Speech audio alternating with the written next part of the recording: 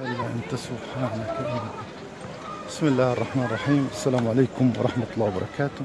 يعني خرجنا آه، تونا من صلاة العصر والحمد لله. يعني الآن آه، نحن آه، خارج المصلى القبلي وهذا السور الجنوبي الذي تكلمنا عنه تحت المصلى القبلي. كما قلنا هناك مجموعة من البوابات على مدى هذا السور. هناك باب ثلاثي وباب مزدوج وباب مفرد وكلها مغلقة من هذا الاتجاه. وعندما نصور نسير مع السور آه، الشرقي للمسجد الأقصى المبارك هناك بوابتين أيضا مغلقتين باسم آه، باب التوبة وباب الرحمة.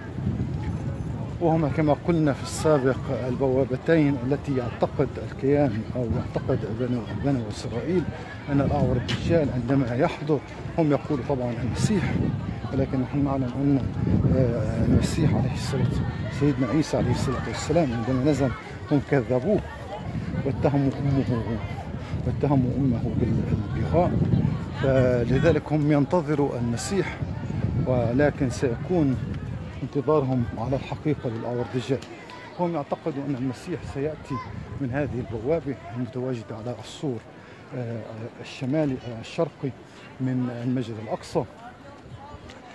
وذكر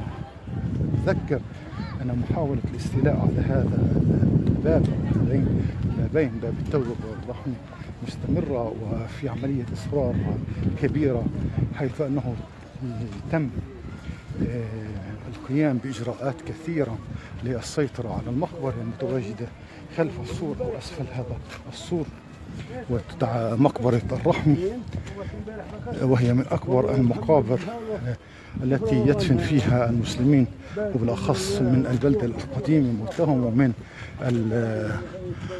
المناطق المحيطة في بيت المقدس والبلدة القديمة مثل سلوان رأس العمود الطور الصوان وادي الجوز هاي المناطق كلها يعني تقوم بدفن موتاها.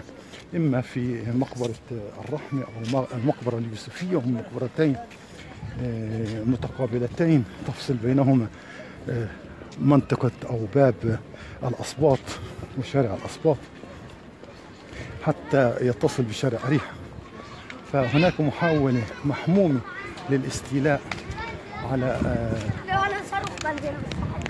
على مقبرة باب الرحمة فقد تم كثيرا محاولة منع آه، الناس دفن موتاها في هذه المقبرة وإعاقة عملية الدفن آه، في محاولة الاستيلاء عليها. يعني يستميتون للاستيلاء عليها وبالأخص المنطقة التي يتواجد فيها هذين البابين. نحن الآن تقريبا في المنطقة التي يتواجد فيها بابي التوبة والرحمة نلقي عليهما نظرة بإذن الله. نظرة سريعة.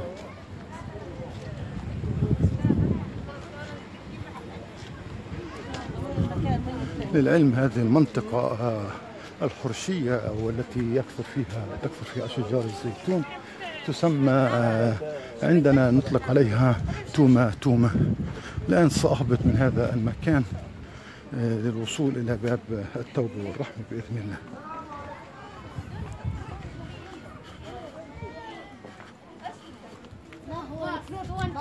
يعني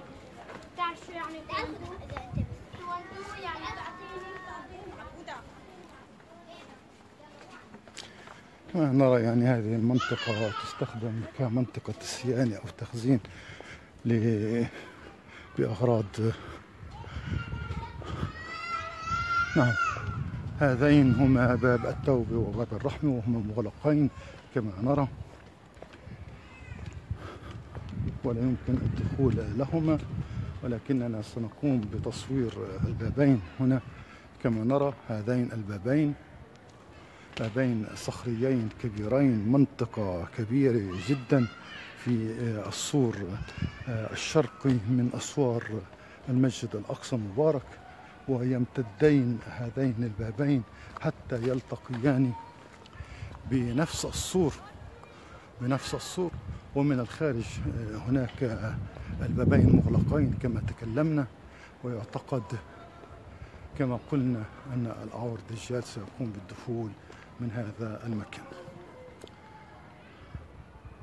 هذا هو السور هذا البناء الضخم آه، للبابين من الداخل داخل المسجد الأقصى. وهو البابين أو هما يفضيان إلى منطقة من الخارج إلى منطقة باب الرحمة وهما مغلقين كما تكلمنا.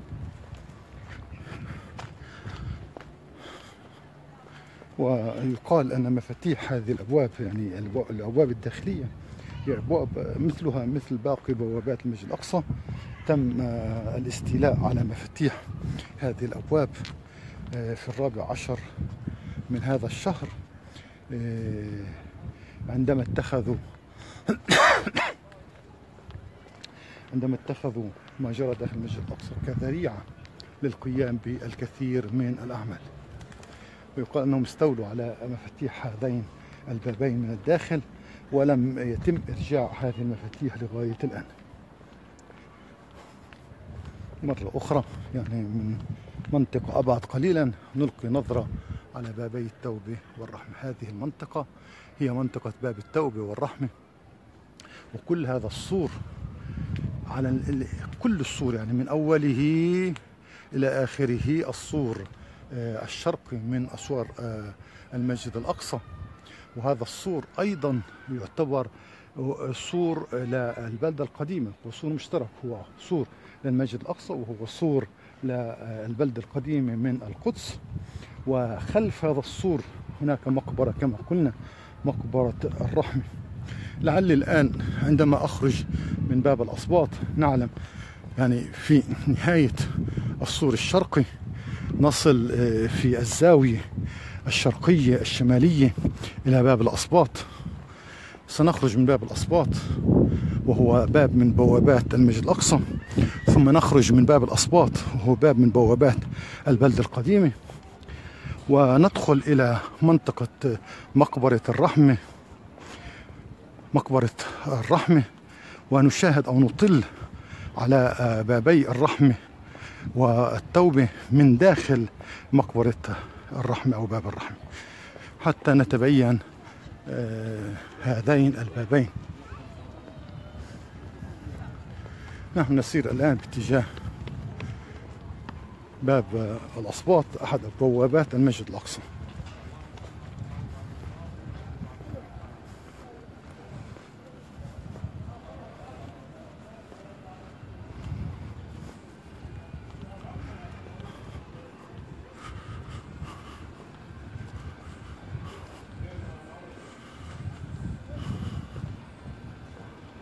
ها نحن وصلنا باب الأصوات.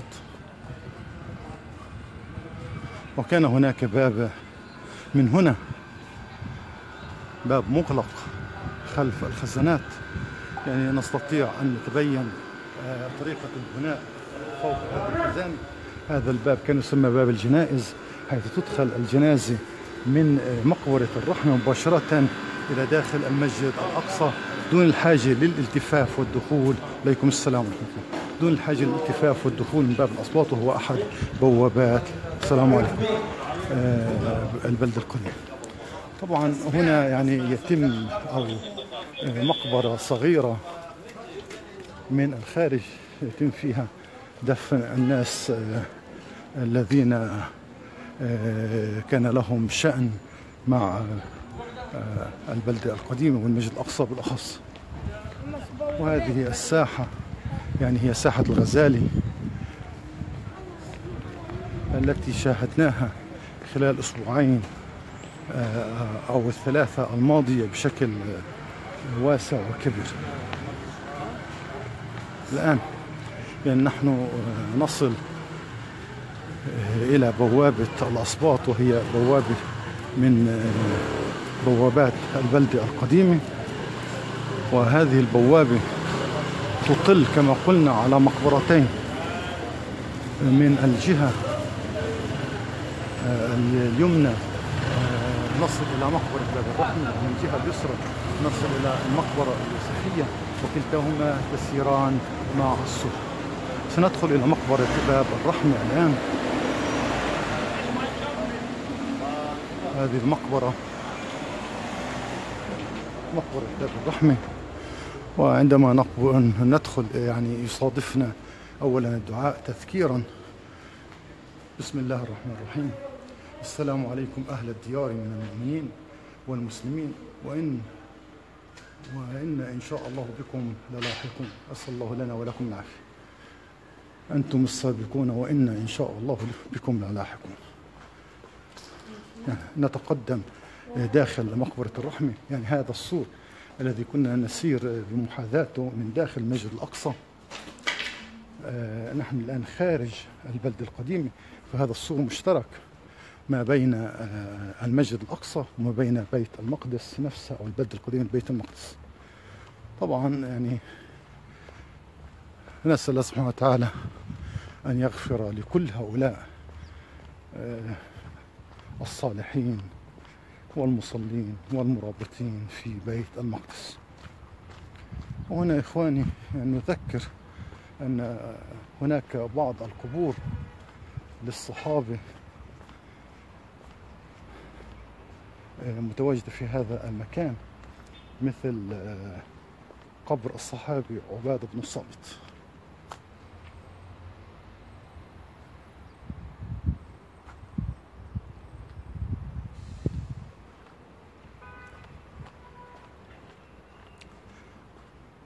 نكمل شو إن شاء الله مع السور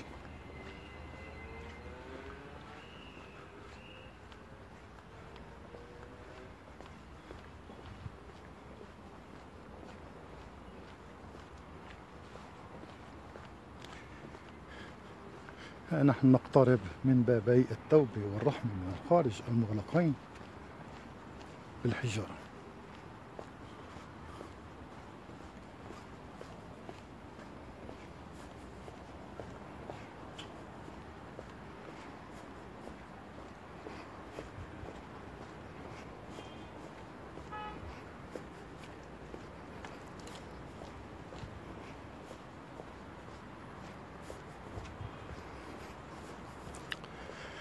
للعلم إخواني يعني هذه المقبرة بحاجة لمراجعة وعمل من دائرة المقابر عندها عمل كبير لابد من توثيق جميع القبور حتى لا يتم سرقة الأماكن المتواجدة فيها. نعم ها نحن نقترب من آه، كما تكلمنا هي بوابة ضخمة جدا. بوابة باب التوبة وباب الرحمة.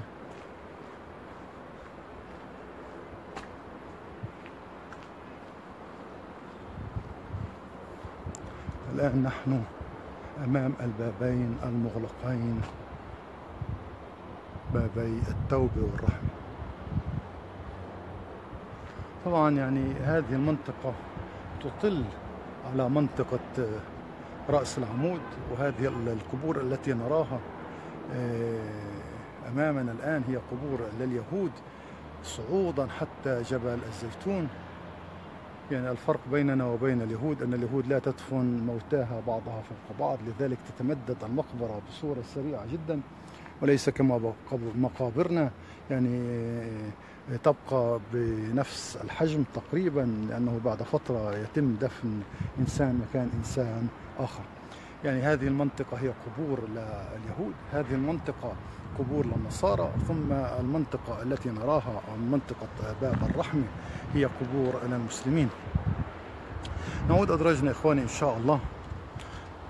آه، تكلمنا يعني أمامنا الآن من الجهة الشرقية آه، جبل الزيتون ومن الجهة الجنوبية نصل إلى رأس العمود وسلوان ومن الجهة الشمالية الشمالية آه، نعود أدراجنا باتجاه البلدة القديمة إلى حيث بدأنا في جولتنا إلى شارع صلاح الدين شارع أريحة شارع سلطان سليمان شارع آه، نابلس وشارع المصرار.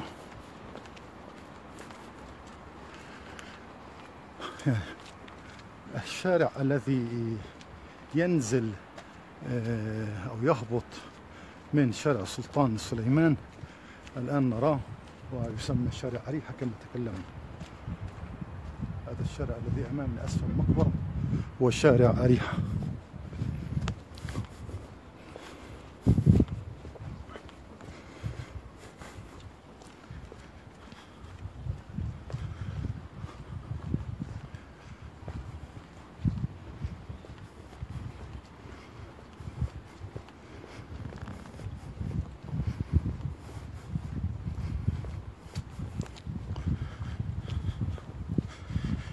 الآن إخواني إن شاء الله عند العودة والوصول إلى باب الأسباط بوابة بيت المقدس سنعود وندخل من جديد إلى المسجد الأقصى لنتم جولتنا على الأبواب من الداخل.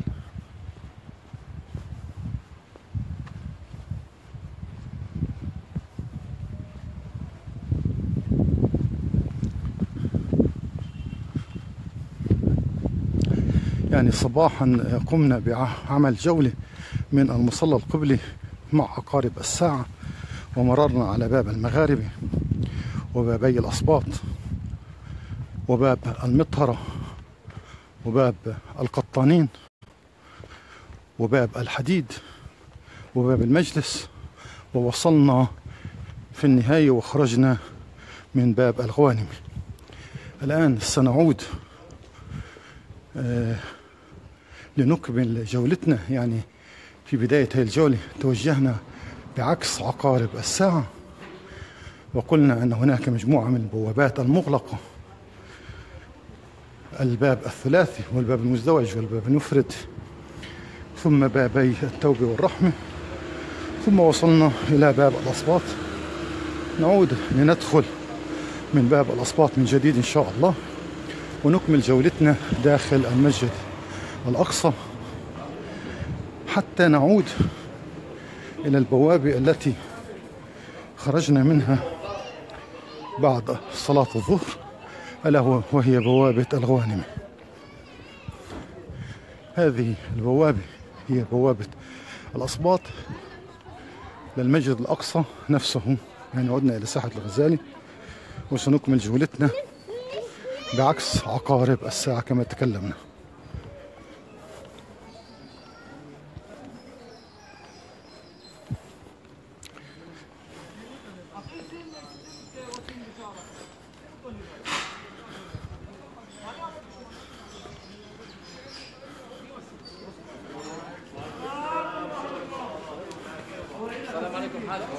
الله يسلمك. أعوذ بالله العظيم. الله يعافيك يبارك بأعماركم إن شاء الله. الله يحفظكم ينور قلبك بالإيمان إن شاء الله. عدنا ودخلنا من باب الأصباط من جديد. وسنكمل كما قلنا. بعكس عقارب الساعة هذه مدرسة الأقصى. مدرسة الأقصى قسمين هناك الابتدائية وهناك الثانوية. هذا القسم الذي يتوسط المسافة ما بين باب الأصباط وباب حطة هو مدرسة الأقصى الثانوية. أما القسم الذي يتوسط باب حطة مع باب الغوانمة هو مدرسة الأقصى الابتدائية والإعدادية. شاء الله يعني سنقوم بذكر آه، المباني في حلقات أو في جولات أخرى. قادمة نذكر المباني ونذكر الغرف آه، والمصاطب والمعالم الموجودة أو المتواجدة داخل المسجد الأقصى قليلا قليلا إن شاء الله. المئذنة أحد أربع إحدى إحدى أربع مآذن متواجدة داخل المسجد الأقصى. هذه مئذنة الأصوات لأنها متواجدة قريبا من باب الأصوات نكاد نصل إلى باب حطة. سمعناه على السور الشمالي هناك آه، أربعة بوابات أو ثلاثة بوابات. دعنا نقل لأن باب الغواني قمنا باحتسابه من السور آه، الغربي. باب الأصوات ابتدأنا فيها والآن نصل إلى باب حطة. ها هو باب حطة.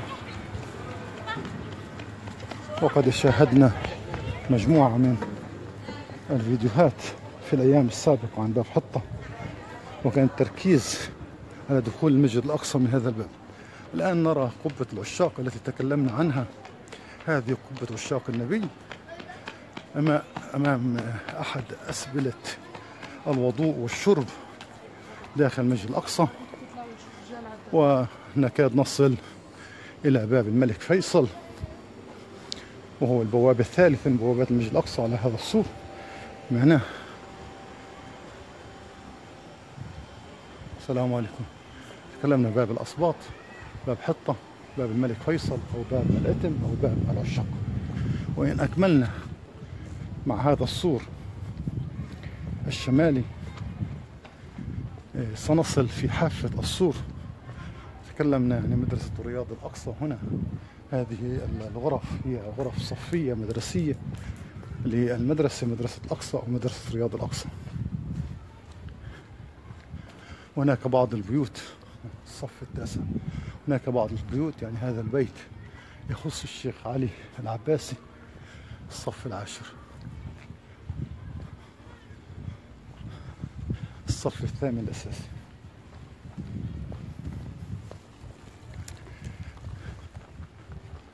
سنتكلم إن شاء الله عن هذه القبب في المستقبل وهذه المصاطب شيئا فشيء إن شاء الله عن هذه البنايات. الآن نحن نتوجه باتجاه باب الغوانم من جديد. فبهذا يعني عند وصولنا إلى باب الغوانم نكون قد عملنا اليوم في الجولتين اللتين قمنا بهما بعد صلاة الظهر وبعد صلاة العصر. الآن حلقة دائم كاملة حول المسجد الأقصى ونظرنا في كل بواباته نكون بهذا قد تكلمنا عن كل بوابات المسجد الأقصى. وإن شاء الله يعني في جولات أخرى نتكلم عن أمور أخرى عن أمور أخرى داخل المسجد الأقصى. يا الله بسم الله. يا رب. السلام عليكم. الله يبارك عمرك ويرضى عنك ويحفظكم إن شاء الله. بسم الله الرحمن الرحيم. الآن نخرج من باب الغوانم. أعوذ بالله العظيم. وبوجهه الكريم وسلطان القديم الشيطان الرجيم. بسم الله الرحمن الرحيم. اللهم صل على سيدنا محمد اللهم اعصمنا من الشيطان الرجيم. اللهم اغفر لي ذنوبي وافتح لي أبواب فضلك. لا إله إلا أنت سبحانك إني كنت من الظالمين. يعني هذا الطريق مررنا به في جولتنا بعد صلاة الظهر اليوم. عندما نصل المفترق نذكركم اليمين طريق المجاهدين اليسار طريق الآلام يؤدي إلى الواد إلى الأمام. عقبة الرهبات تؤدي إلى حارة الصادية السلام عليكم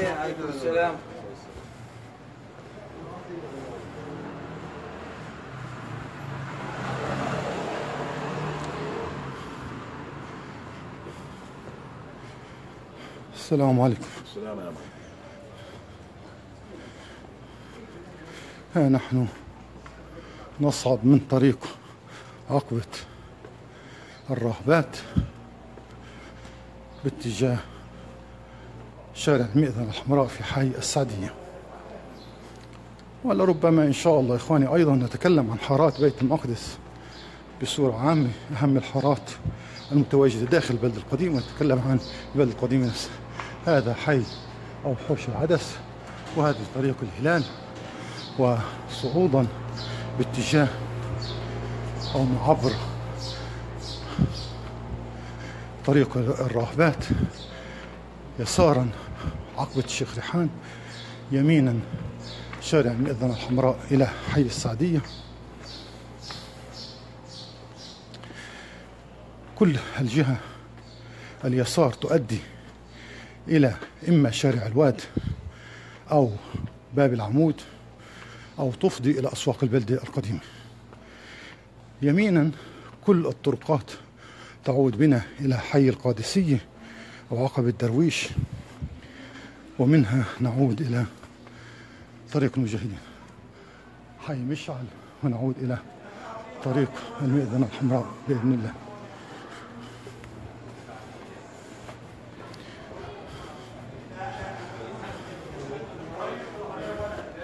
حي مشعل الذي رأيناه يعني هو حي سكني مغلق يعني لا يؤدي إلى حي القادسية أما عقبة شداد تؤدي إلى السلام عليكم.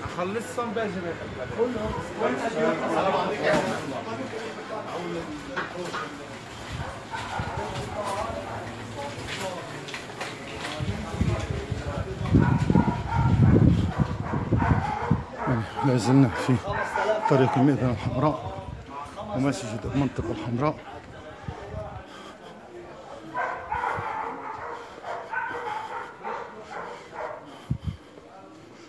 نحن الآن في حارة السعدية وهذا المقطع طريق المئذنة الحمراء من حي السعدية. نكاد نصل إلى مفترق طرق من اليسار. نصل إلى عقبة الميلوية وهذه تعيدنا إلى مفترق الطرق الواصل ما بين باب العمود وطريق الواد و كان الزيت. أما على اليمين حي البسطامي يعيدنا إلى عقبة القادسية. السلام عليكم.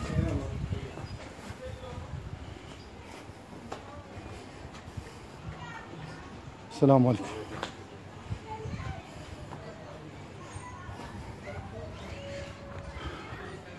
نكتفي إخوتي أحب أحبتي في الله بهذا المقدار على أمل أن نلقاكم من جديد في فترة المغرب. والسلام عليكم ورحمة الله وبركاته.